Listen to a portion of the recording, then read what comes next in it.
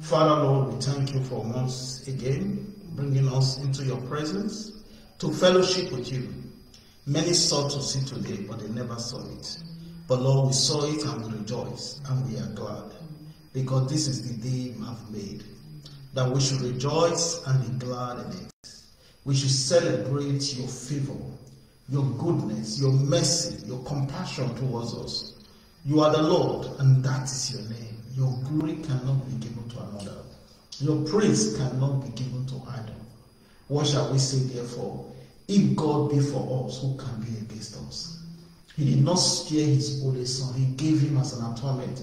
We know through him he will give us all things. Lord, today we have gathered together once again to have fellowship with you. Lord, you says, if we have fellowship with you, we are showing your death until you come. Lord, today we have gathered together in that fellowship to present ourselves to the Lord, just as the sons of God present themselves before the Lord. To exalt you, we have presented ourselves.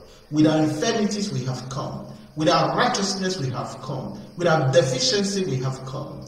With our knowledge, we have come. With our wisdom, we have come. With our foolishness, we have come to present ourselves before you as we have boldly come to the throne of grace to ask you for help in this time of need. Lord, meet us at the very point of our need because you promise us that the expectation of the righteous will never be cut off. Our expectation today will not be cut off. Father, Lord, as many that will come to this lesson, oh Lord, with a heavy heart, with burden of mind, with sickness, with infirmities, Lord, they will not return home the same. Because you say, Come unto me, all ye that labor and are heavily laden, I will give you rest. Lord, they have come to lean on you because your yoke is easy and your burden is light. Lord, you will grant rest to their soul. You will roll away every burden from their heart. This we ask through Jesus Christ our Lord. Amen. Today, brethren, we have welcome again to the Open House Fellowship. This is CGF Open House Fellowship. It is a non-denominational fellowship.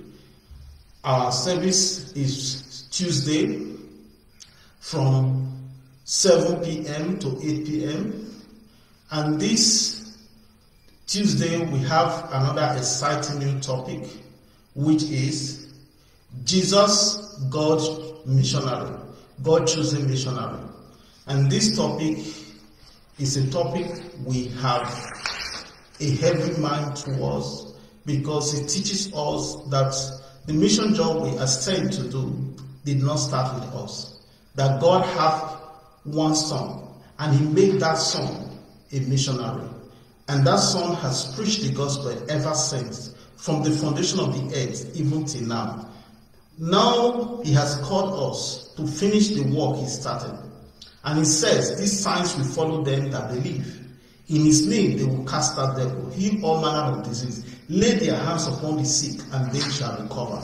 Today, if you are bold enough to hearken unto the word of Jesus Christ and keep to that mission promise that he has commanded you with a great commission, which is his last command, that you should go, that this sign will follow you. The sign will surely follow every believer, no matter wherever you are in the world, that decide to obey this call and go in faith. These signs will not come with you in the house, but as you go, the sign will follow you. This I pray for you in Jesus' name. Today, I am your host. My name is Missionary Collins Adoge. I am your minister for tonight. Our topic today is Jesus, God chosen missionary. Jesus, God chosen missionary. Why would God have one son and decide to choose him as a missionary to the world? That shows you a heart of love which the Father has shown towards the world. Not only that he, we love him, but because he loved us. And because he loved us, he sent his only son and made him a missionary to the world, so that through him the world might be saved. Today, a true story, a group of Western missionaries went so to a far away land, uninvited, without consulting the national church. Each local believers were suspicious, and the missionaries soon became isolated from fellowship. For years, they kept their own language, culture, food, ways of working and worshiping. Even today, anyone who comes to their church services feel an outsider after a while and move on. So, why do we start this teaching with this service?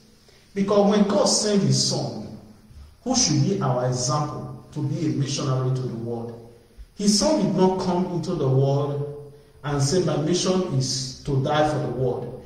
Go straight to the cross, no consultation, not try to blend into the society, keep the heavenly standard, in fact, retain his godly nature, the death of Christ will make no sense to the world. In fact, we will not even recognize that he died for our sake. But when God made his son a missionary, what was his strategy? How did he do it? If we know how he do it, be rest assured, we can apply the same formula and do the same thing. But how did God send his son? First, God did not send his son as an angel or in a vision to come to the earth or as the voice of God that speaks from heaven to come to the world. No. First, he followed biblical prophecy. He was counted among us. The Bible said he was numbered among men. God has his son come to the earth Though he be in form of a God, he thought it not robbery to be equal with God. He made himself of no reputation, and he took upon himself the form of a servant. He did not even take the form of a king, or of a world popular ruler, or of a leader, but he took the form of a servant. And he became obedient even to the point of death, even such a shameful death on the cross. That's why for you to be accepted into the community as missionary, you may have all the monies in the world. Go into a camp, dressed with fine shoe and long tie, may make you acceptable in congregational church, but not in the mission field. But if you go in as the village farmer, as the cattle rearer, and you go in as an apprentice in a workshop, as mechanic that fits their vehicle, they will listen more to you than if you go in there carrying long Bible as a religion priest and write on your chest missionary. People will not listen to you because they look at you as a foreigner. But if you come to their place and they see you participate in their market day, join them in their farm and their cultural practice, when you speak to them as missionary, they will listen to you. And that is why today many missionaries find it difficult to be accepted in some community. It's not because the community are evil themselves, because missionaries should learn to fit to the culture. Paul said, I become all things to all men, that by every means I may win some. That is the spirit of a missionary. The spirit of a missionary is to become all things to all people, so that at a point in time you can save some of them. The people that need saving are not gathered together in congregational church. Some of them are in the village local farm. Some of them are in the beer parlor. Some of them are in the hotel. Some of them are in the Harlow Street joint. Some people that need saving are in the academic institution. They may never have the opportunity to visit the church all through their life because the God of this world has prevented them. They are living in depravity. They cannot be saved. So what do you do? How do you present Christ to people that are inaccessible? Is to become those people. To academician, become an academician. To a mechanic, become mechanic. To a farmer, become like farmer. So that you can by every means save some. If you want to save a market woman, they will rather listen to a market woman than a pastor that say I'm an evangelist crying in the market. So Use market women to reach market women. Use farmer to reach farmer. Use mechanic to reach mechanic. Use tailor to reach tailor. Use religious zealot to reach religious zealot. And use traditional zealot to reach traditional zealot. This will help you forward the message of the mission and make the Great Commission swift and wonderful for the whole world to see. And that's why today we are very happy under this topic that Jesus himself, when he came into the earth, did not come in form of a king, though he was a God. He did not think it as a thing of robbery to be equal with God. But what does he do? He did not come in the house of Herod, who was the king then in those days, but he came in the house of a carpenter whose name was Joseph. And he came from a virgin named Mary, who was betrothed to Joseph. He was numbered among men. Though he was a God, but he thought it not robbery to be equal with God. But he humbled himself and he became obedient. He did not disobey his parents at any point in time. He followed them and they grew with him. Even when they left him in the temple and he made it known to them that he was in his father's house, he still followed them home in obedience to them. His ministry did not start at one year old to prove to the world that I am different, I am a son of a God. No, he waited until he was a matured man to minister.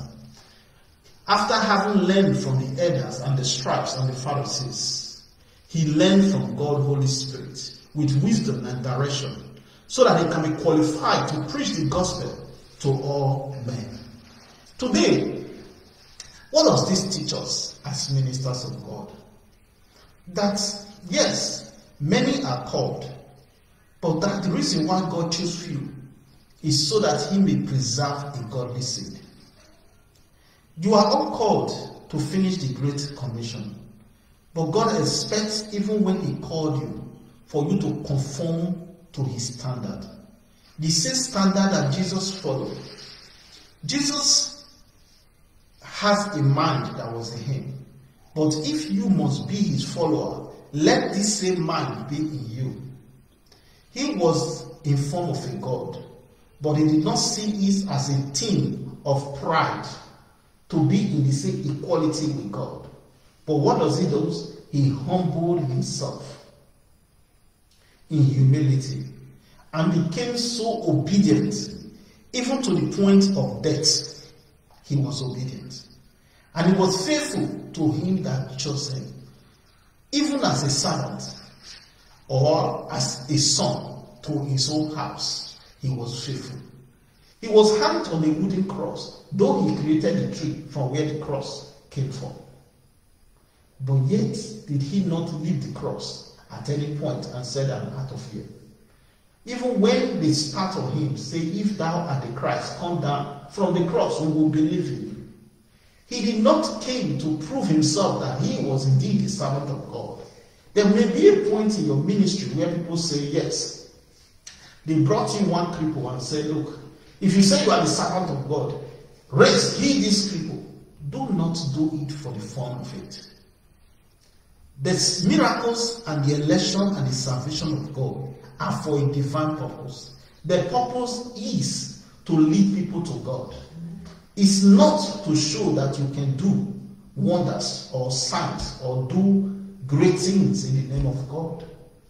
That's why when you are in your house, no matter the power of the Holy Spirit in you, if you lay hand on the sick inside your house, trying to test the power of God before you go for mission, it will never work. The reason is not because the power is not in you, is because God will not give his glory to any man. The glory of the Lord is for himself, and he preserves it for himself alone. He will not give it to any man. But when you step out in obedience and follow what he said, God will honor his word. Because the Bible told me that the Lord honor his word more than even his name. Some people honored their name, but God honored his name. At the name of Jesus, every knee will bow. Till tomorrow, that's why when you mention the name of Jesus, every knee bow. But yet, God tells you he honor his word more than that name. No matter how powerful the mention of the name of Jesus is, God tells me to tell you today that He honor His word more than that name. And today, we are looking at why God will send His only Son to be a missionary to the world, to give us an example on how we should preach the gospel. If this gospel is so important, why did God not send angels? Why did He not do it Himself? Why would he send us? who were made in his image after his likeness. Because God also did not choose angels to become king and priest unto him, but he chose the church. Because you are a royal priesthood, a chosen generation, a peculiar people, who should show forth the praise of God who has called you out of darkness. The whole world lives in darkness, and darkness cover the earth, and gross darkness the people. But that's why God allowed His glory to rise upon you. That's why He called you out of darkness into His marvelous lights. He knew in time past you were not a people. You were not even part of the covenant of promise with Abraham, which God made with Israel. But now you are His people. Why? Because of Christ. Because of His death, you have been reunited with the covenant of Abraham. Now you are God's people. Now you are a peculiar nation. Now you are a royal priesthood. Now you are a chosen generation. And your job is to show forth the glory of God in this present world. And his mercies to all generations following. And that's why today, this lesson is going to be very easy and technical. For many believers, it's going to be a lesson that you need to energize you and prepare you for the job and for the work of the ministry. Sadly, but not surprisingly, the work has grown very much. The faithful missionary blamed the people for being hard hearted. But is that the whole truth? No. The people are not hard hearted as you think. Then you are presenting to them a culture they do not know. I remember when I was in mission in Africa, the first question they asked me is, Oh, the Bible you are preaching, is it not a white man Bible? You are teaching us a white man gospel. Why not teach our local tradition that our father understand, our knowledge understand? But they will not ask the same question if you try to explain to them that this God we are talking about has name in every culture. It has cultural significance. Your grandfather and your great grandfather knew there was a God. And they knew that He is the ruler of the entire universe. But they don't know how to worship. That's why they make all idols and form. Look at what Paul did when he get to Athens. When Paul got to Athens, he saw that the people were very religious. They make all form of idol to different kind of God. Even to the extent they make an idol and say, we do not know your name to the unknown God. And this fascinates Paul. Because why? These people did not only make idols to other gods that are known, they also make to one to an unknown one, which they do not know but they worship. Then Paul now made them to understand that he has not come to show them any of those other gods who they already know. But this one they do not know, he has come to show them. And he used that their idol to preach to them. You can still do the same today. By using the same idol which the people claim to worship as a symbol, make known to them that which they know not, which they worship ignorantly, have you come to declare to them. And these people will listen more than when you come to them with a strange religion. But because Paul spoke to them about their unknown God, many of them said, We will hear you again on this decision. So Christians should be very forthwith whenever they are in the mission field. That's why in CGF we have a strategy that when we get to the mission, first of all, we follow Christ's method. We support whoever has right or whoever has authority in the community. And then we abide throughout our days of mission. And this gives room for trust. And because the man who is in authority knows his community better than any other person, he is in the position to explain to the mission team and to the people of the community that these people, though they are strangers, they have come with this. This is their mission, and this is the purpose why God sent them here. And because of this purpose, let's listen to what they have to say. The people tend to trust you more than when you go there without trusting on anybody. You have to give respect to the king and supreme. and you have to give respect to the custom. And to every man that has authority in that community, whether to the priest or to the local deity or to the local church, you have to give respect to every single man. And that not mean you bowing down to their idol to worship them, but that means you allowing yourself to be integrated into the community in order for the gospel of God not to be blamed.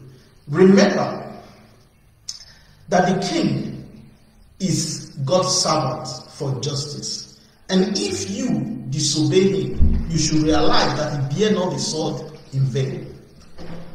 He left purity and perfection of his home in heaven, and he came to the world stricken with sin, sickness, selfishness, demon, poverty. That was Christ.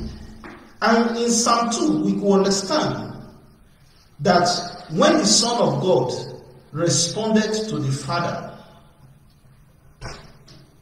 he responded to the Father in Psalm 2. He came unto the world.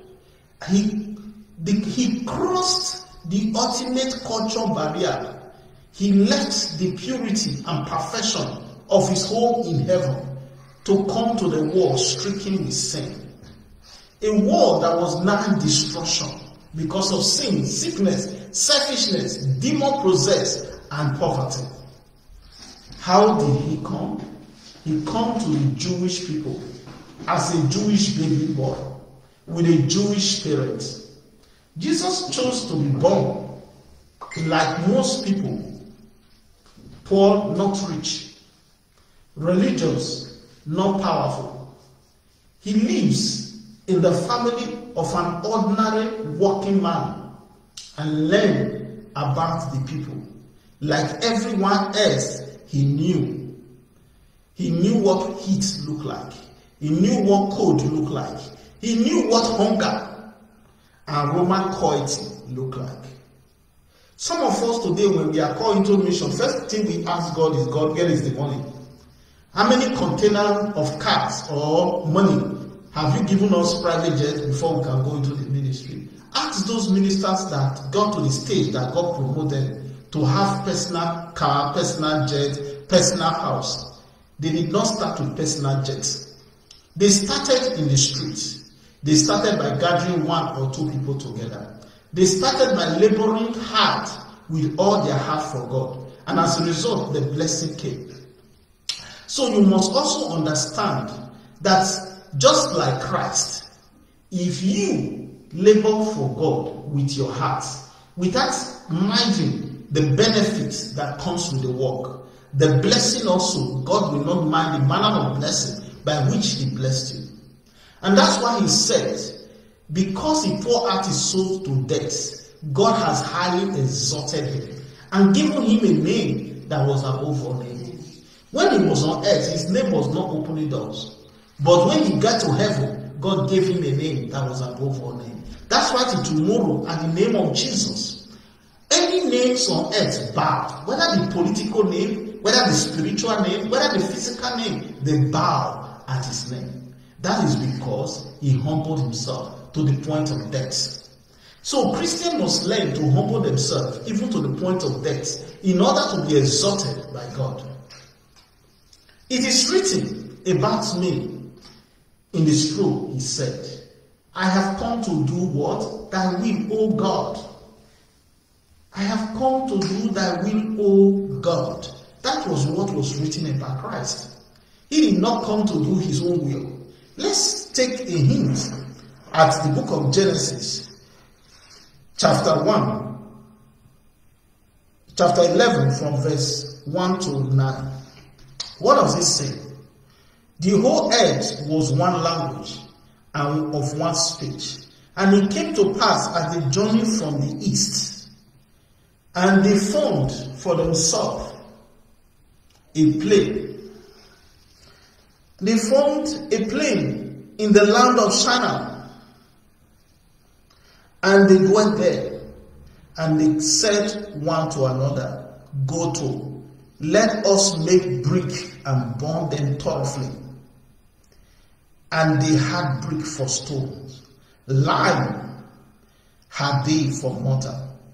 And they said, Go to, let us build us a city and a tower, whose top may reach up to heaven. Let us make us a name, lest us be scattered abroad upon the face of the whole earth. And the Lord came down to see the city and the tower which the children of men builded. And the Lord said, Behold, these people is one, and they have all one language. And this they begin to do. Now, nothing will be refrained from them. They have imagined to do. So, why would God wonders about the people in Bethel? The people in Babel, the Bible makes us understand that the journey east, they discover that they don't want to go to the in the likeness of the rest of the earth. They don't want to be scattered abroad. They want something more. They want to build a tower for themselves. And they want the tower to reach up to heaven. They want to make name not for God, for themselves. So that they will not be scattered in the earth. But God understands, but that was not his plan for man. Remember what he told man in the creation. He said, be fruitful, multiply, replenish the earth and subdue it. But man has refused to be fruitful, to multiply, to fill the earth, and to replenish it and to subdue it. Because the people were one. And they have what? One singular language. They came from one parent. They do not want their family to be scattered. They wanted to build a city and make themselves a name. Maybe erect one word king among themselves. Just does that seem familiar today? Today we have many people who does not want the world to be scattered. They want the world to be one. They want to gather the world together and remake it in their image. And so that the world will be one and the people one language. That was the plan. But that was not God's plan.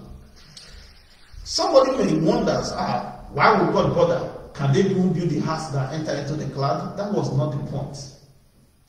God wants men to cover the earth, to be fruitful, to multiply, to fill the earth and to multiply it. He don't want to gather the whole world together in one street. Today we keep building houses on top of houses.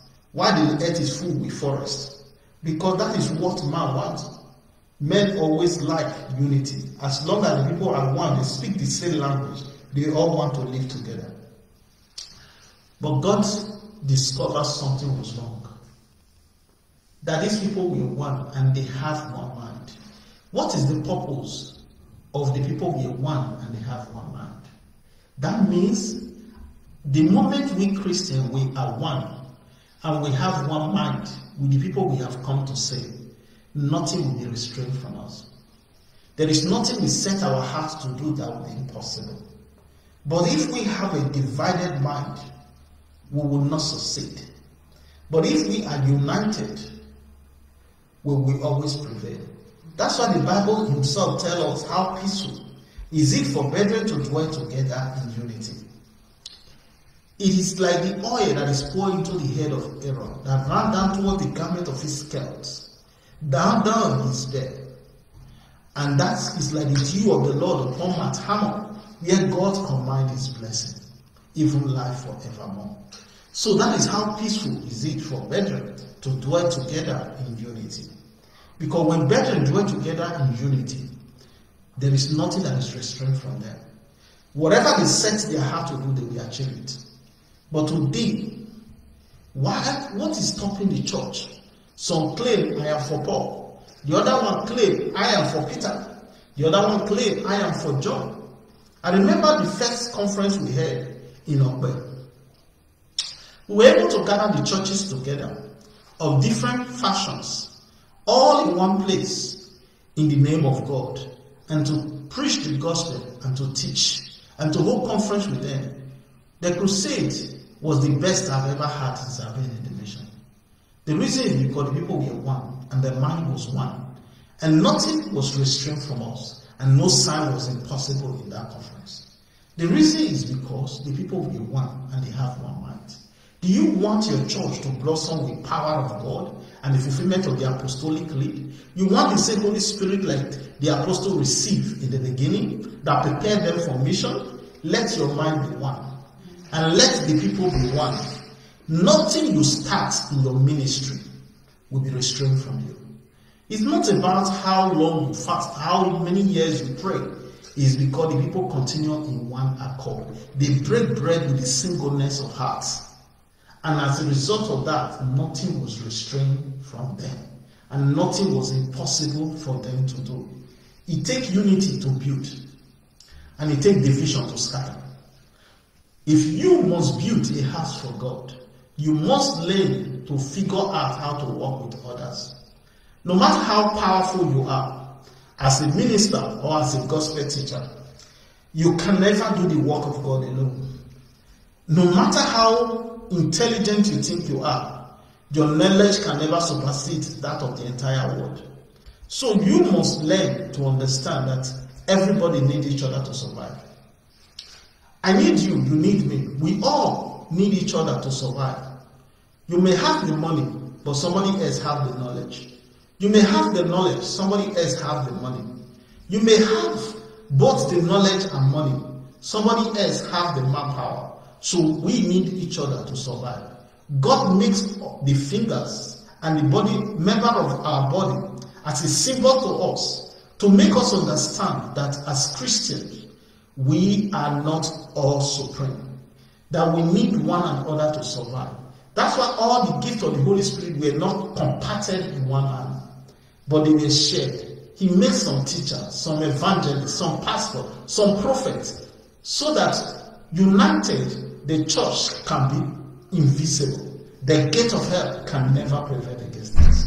But divided, the church is free, and the gate of hell will take dominion over it. Because as a church of God, the only way to avoid the gate of hell from prevailing over the church is for the church to be bonded together in unity. And let every man respect his office and use the appropriate gift that God has given us to do the work which He has called us to do.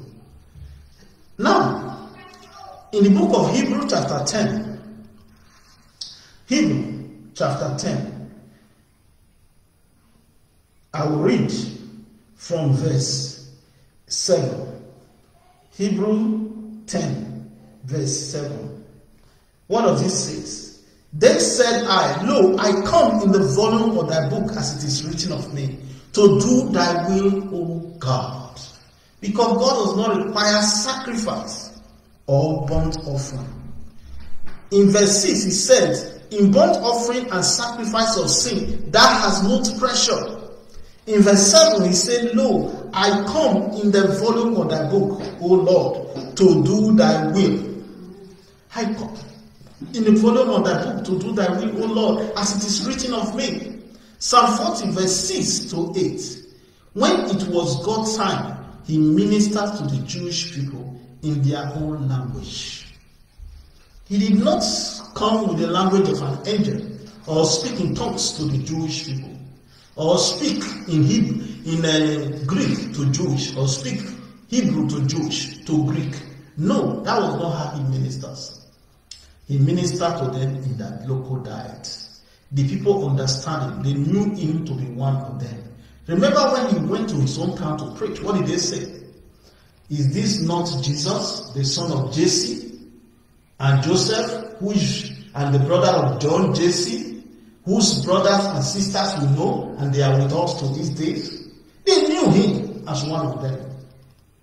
Sometimes he work as an advantage, sometimes he work as disadvantage.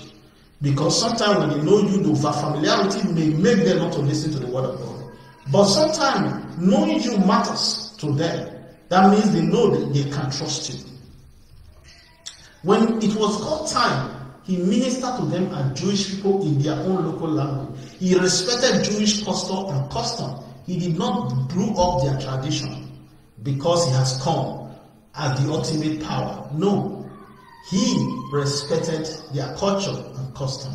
He was also one with the people that when the soldier came to arrest him, they had to be shown which man was Jesus. Because he was not different from the disciple. So when you when they come into your church and you and your mission team are sitting down and they can identify you different, say this one be the pastor, the rest are members, there is a problem. Because if you are the pastor and you can be identified from the group, that means the mission team has a problem. When they come into the team of Jesus Christ, they never knew whether Peter was Jesus or whether John was Jesus because they all dressed like Hebrew and they all acted like Hebrew men. There was no leader and they were all equal before God. And this should be a lesson to people who would be missionaries to learn to put God first, not yourself first. To put, if by the time you go through every mission village with a bottle of water and a cup of ice cream in your hand, how many villages do you really think you can reach in the world? What happened to the village when they have no fridge? Are you going to spend the mission income to carry fridge from village to village? Or to gather bottled water for five years mission? What if God put you on a 20 years mission? How many bottled water can you buy for the space of 20 years? God is asking you a question. Raise and train ordinary local people. After this resurrection, he left them to it trusting these friends to do the work of the ministry.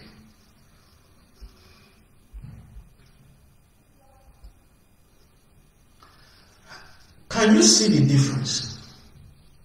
People in the first story brought God love, expected people to enter their culture. When Jesus brought God love, he fully entered into the culture to win us to heaven. So you see the difference. Enter into the culture as Jesus did. Is culture a barrier or a career? What is culture? It's an integrated lifestyle of language, habit, custom, social organization, and gives people identity and distinction. Culture is about behavior, body language, relation, greeting. It is how people talk, eat, dress, walk, sing, play, and do business. You can see culture is architecture, religious building in a choosing system of government, law, schools. You can see culture in the respect, in the respect or lack of it. For official and in attitude towards privacy and time. In culture, is culture good or bad?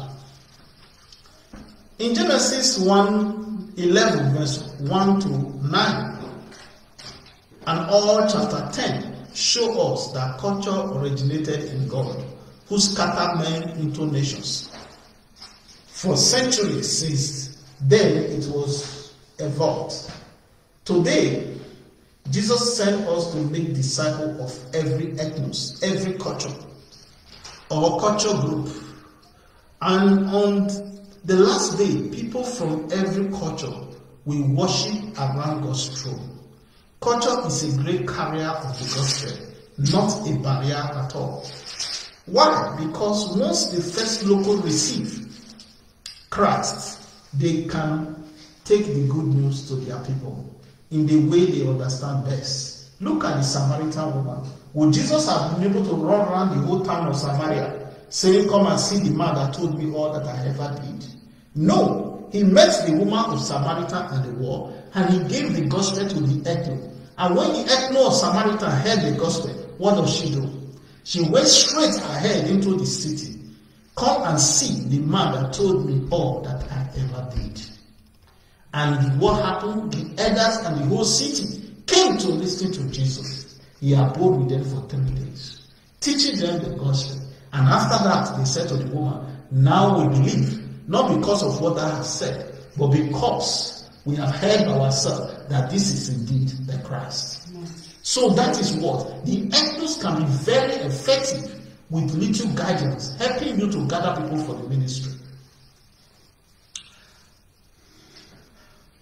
Why? Because once the first local receive Christ, they can then take the good news to their people in a way they understand best Like Jesus, the missionary can then withdraw and support the locals. That is why in CGF, our mission strategies remain the same way Christ operates.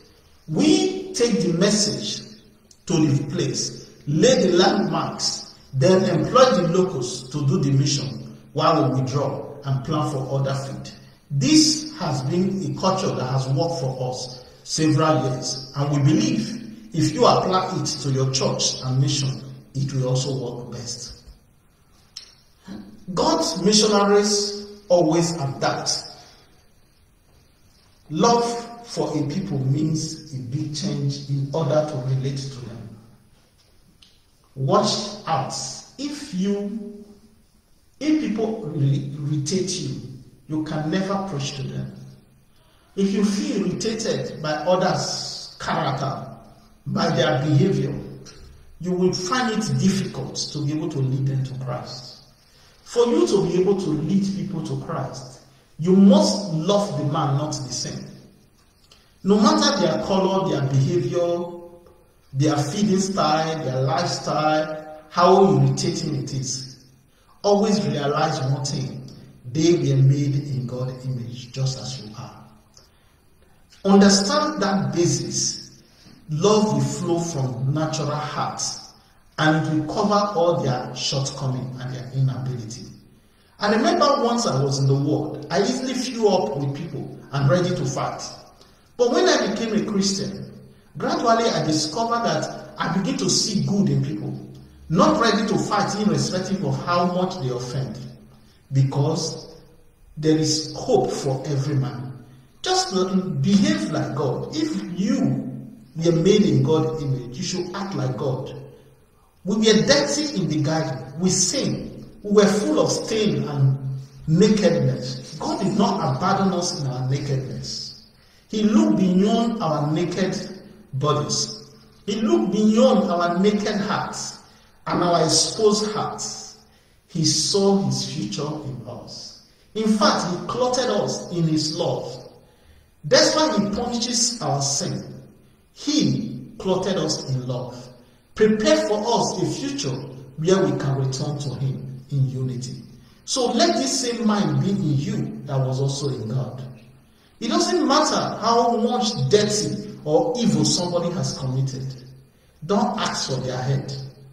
Seek, let your love supersede your anger. Let the love of God in you be the first thing you reason when you look at people's sin and depravity. And this will help you to relate to them even when everyone disregards them and push them aside. Watch out if you think you know better. The gospel message never changes. But the way of presenting it must be adapted. Otherwise, one, no one will ever understand the gospel. Why you are there and what you are trying to say. Because if not the way you present yourself, if you do not present the gospel yourself before you present the gospel, people will never listen to the gospel. I have grown long in the mission to understand people respect the missionary even before they respect his word. Your character and your conduct among the people will make people to see Christ in you.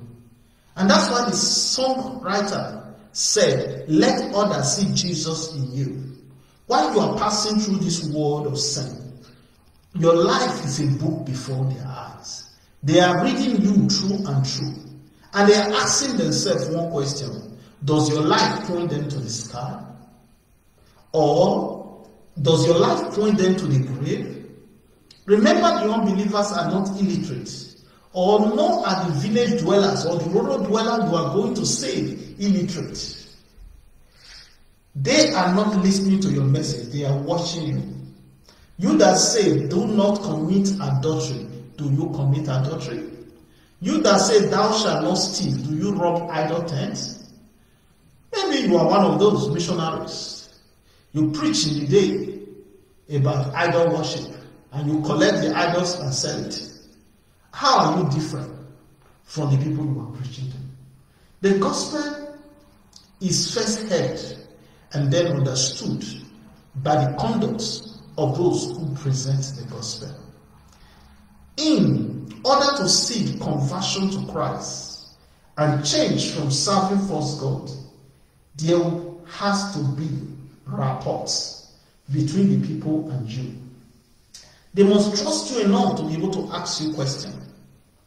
And they must trust you not to be offended when you are asked questions, to communicate your message in a plain language that they will understand. You must understand the people, and the people must understand you. And this is this means the same to me as to you transformation of new believer life to confirm true conversion. There has to be a transformation. Remember what Paul said? He said, Follow me as I follow Christ. Paul was a follower of Christ. He see Jesus in himself. And he was bold enough to tell his follower to follow his footsteps because he knew his footsteps would lead them to Christ. So let others see the same Jesus in you. So that when you are passing through this world of sin, your life is a book before their eyes. They will read you through and through. And they will ask themselves one question. The life you are living, is it the life I want? Does this life take me to heaven? Or if I follow your footsteps, will I not end up like the rest in hell? That is the question every Christian asks each other. The key number one is world view. A person's worldview is how a man or woman view God, himself, eternity. Conversion, change has to happen here before culture slowly begins to conform to God's word. Before you speak to the people, you are called. You are called to. You must take time to understand how they see lives. How do they view life? Their worldview might be very religious and involve God and gospel. It might be secular, such as Marxism or atheism. From this foundation come all their habits, belief, practice, value, good or bad.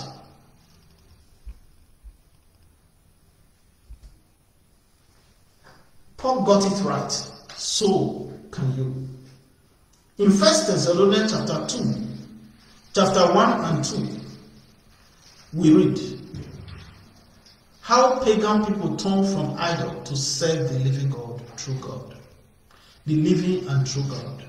Paul said that the gospel came to them in not simply with word. So let's learn three things that were so involved in this gospel. Lifestyles that brought reports. They saw at least 12 quality in Paul's life so they imitated him, even accepting suffering. First Thessalonians chapter 2, from verse 3 to 8. First Thessalonians 2, from 3 to 8. It says, For our exhortation was not of deceit, nor of uncleanness, nor in guilt, but we were allowed of God to be put in trust with the gospel. Even so, we speak not as pleasing men, but God, which tries our hearts. For neither at any time use we flattering word, as we know, not a cup of covetousness. God is weakness. None of men sought we glory, neither of you nor yet of other, when we might have been bothersome as the apostle of Christ, we were gentle among you, even as a nurse cherishes her children. So even affectionately desirous of you, we were willing to have imparted you not the gospel of God only, but also our own soul, because ye were dear unto us. Do you get that? They were not only ready to impart the gospel, but they impart their own soul. Because why? They see you as an object to be loved. Even your deliverance and your healing will not take place except you love the brethren. From verse 10 to 12, we understand. We witness, we are witnesses, and God also. How holy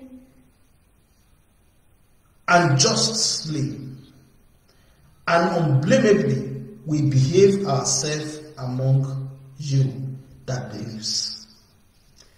And as ye know how we exhort and confront and change every one of you as father doth his son, that ye would walk worthy of God, who hath called you unto his kingdom and glory. That is what Paul said. And that is how he behaved himself. He's not just preaching, oh, for John 3.16, for God so loved the world. God so loved the world, he gave his only begotten son. You love God so much. How many minutes of your time in a day do you give God? God's, oh, God love us so much. Jesus only is our message. Jesus all our team shall be.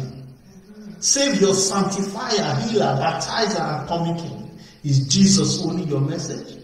Is Jesus only your team will be? You say God loved you so much, He gave His only begotten Son. And yet, the church roof is leaking. You say, hmm, that one of their business. What? God so loved you, and He gave His only begotten Son, and you love God so much, you don't even join the team on evangelism.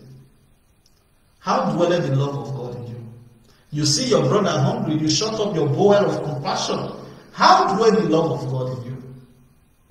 The questions remain. Christianity does not only impact the world, we impact ourselves as well. Communication and understanding. They welcome and understood the message enough to turn from their idols. Don't force people to go to the shrine unnoticed to go and burn the idol. The idol will kill you. The reason is because you do not even know the God you are going to serve.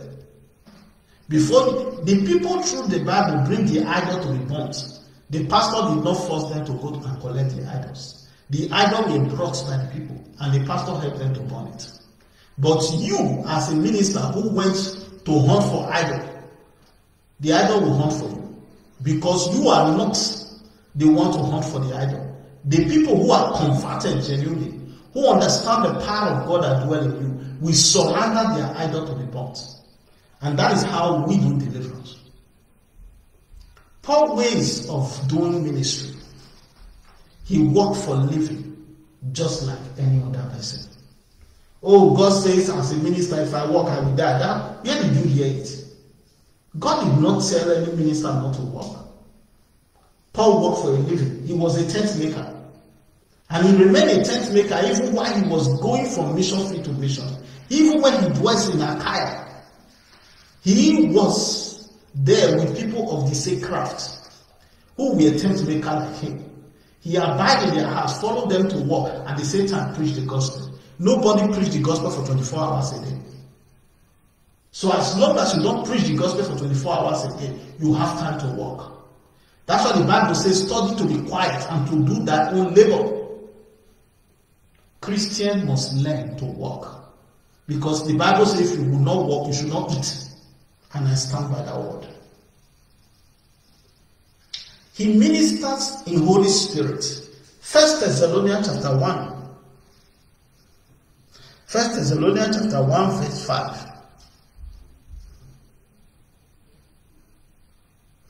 Chapter 1 verse 5.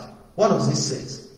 For our gospel came not unto you in word only, but also in power and in the Holy Ghost, and in much assurance, as you know that the manner of men will wear among you for your sake. The gospel you preach, power must proceed your message. People must know you are not just a good orator. that your word carry power, that you say it and it come to pass. You decree it and it is established. And they will listen. When they something, I always ask my mission team one question. How much will somebody pay you to die? Will somebody send you to a mission field where you know that they will ask for your head without the Holy Spirit will agree to go? No. The apostles were willing to put their life on the line to preach the gospel. Do you know why? Conviction. If you don't bring the right conviction to your member, they will not be willing to die for the gospel.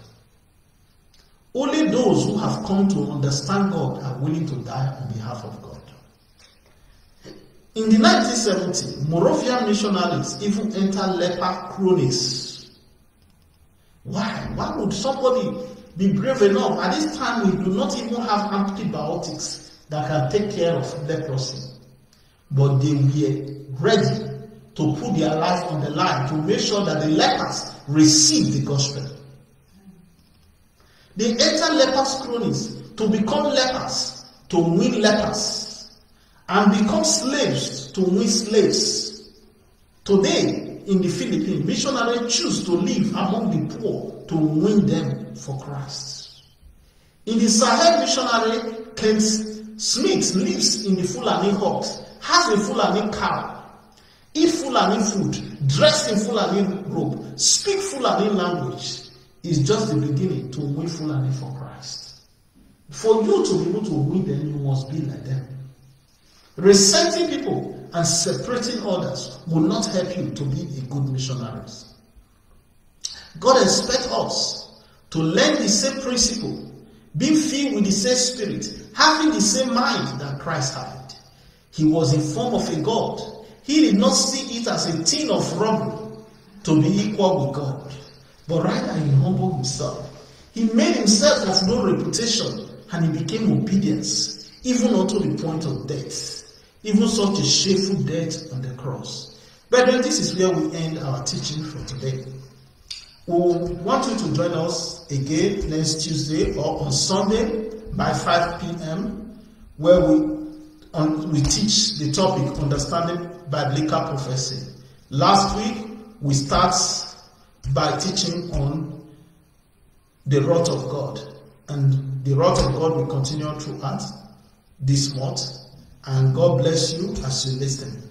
Brethren, before we pray, I would just want to invite you, if you are new to this message, you have missed our subsequent lesson. These lessons are taken in series. We always take in four series. Four series from evangelism, four series on mission, four series on discipleship, four series on leadership, and four series on church growth. When we finish this today mark the end of the first series of mission. So by next week we are starting first series on discipleship.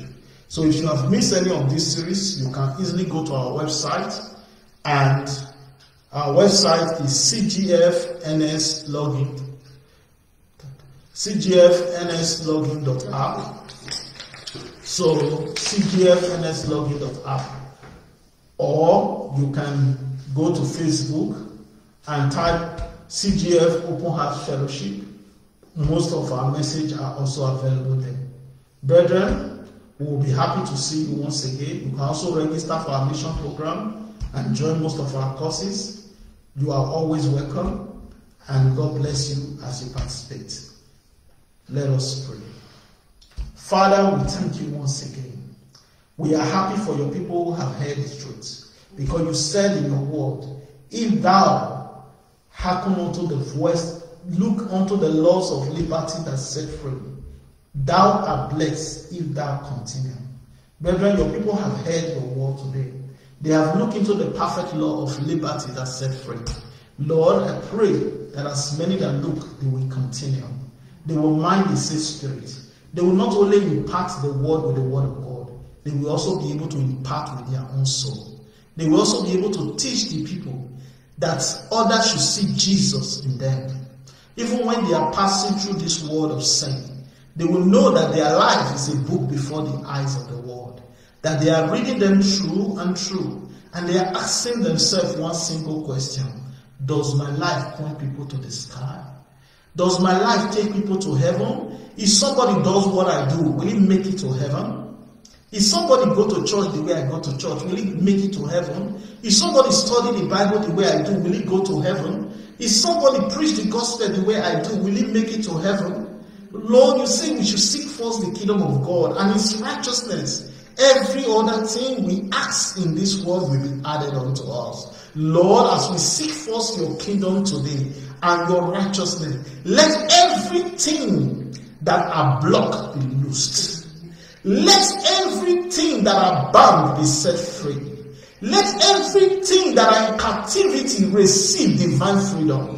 Father, let everything that are hanging down, oh Lord, be exalted. Let every valley in the life of this believer be exalted. Let every high land and hill be made low in their life. Lord, I decree healing to as many that are saved. As many that have blind receive your sight. As many that sit in darkness, oh Lord, great light is shining.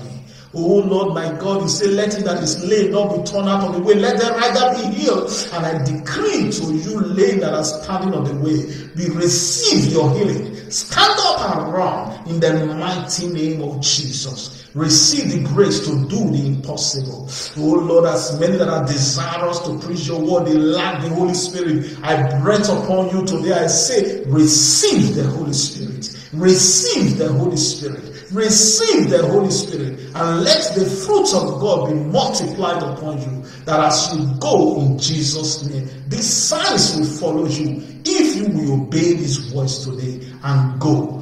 In his name, you will cast out devil. You will heal all manner of disease. Lay your hand upon the sick, they will recover. Only if you obey and go in Jesus' name. In Jesus' mighty name we pray. Brethren, we'll be happy to see you again by next week. God bless you. In Jesus' name. Amen.